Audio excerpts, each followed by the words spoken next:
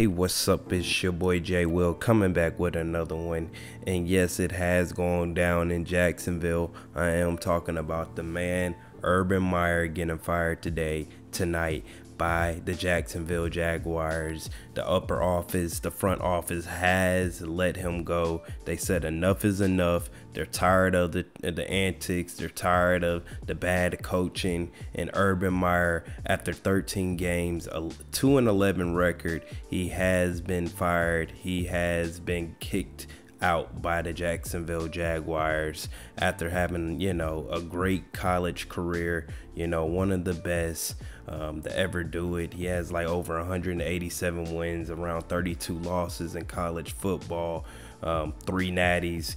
But you find you, you quickly find out that the the things you do in college might not work in the league. Um, you can't coach the same. You kind of have to treat the players differently, and you can tell by a lot of situations that were going down that Urban Meyer was, you know, he, he's just full of himself. You know, he, he got the three natties. He's not too humble about it. Uh, you know, he's the monarchy. You know, it's his way or no way at all, or he's going to try to embarrass you. And there's been, you know, plenty of altercations to show this. Uh, the one with Josh Lambo. Uh, it broke today as well. He kicked Josh Lambo and his kick, kicking foot um, while at practice. Um, he kicked him in his leg, you know, for no apparent reason. He just said, "You need a effing, you know, you need a kick better, you know," uh, but no, you know, no real reason behind it. Just you know, doing antics like that. Uh, you know, the boy Josh Lambo did retaliate. He told him, "Don't do that again." You know, don't like chill out, coach. You know, you know, we ain't no college students over here. You can't be kicking me like that. You know what he told him? He said, I'm the effing head coach. I'm gonna do it my way. It's my way or no way at all, you know. So you just deal with it, you know. And uh, best believe he was let go after a few games within the season. But I mean, that could have happened either anyway. Either way it went, because you know Lambo wasn't playing good. He was missing a lot of kicks. But that's just one of the antics that you know the man Urban Meyer had going on while coaching.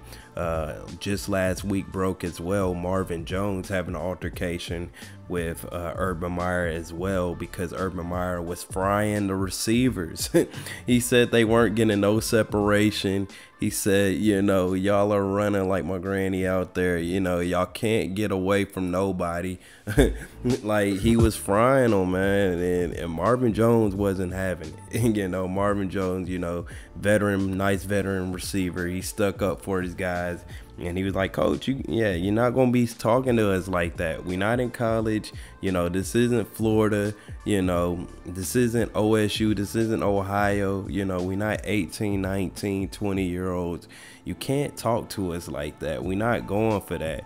And it's not only was he doing this to the players, but he was doing this to the coaches as well many of the coaches, you know, having many altercations, uh, you know, having verbal fights with Urban Meyer, you know, getting into, you know, personnel decisions uh, multiple times throughout this year. He's he's forgotten that James Robinson has not been on the field.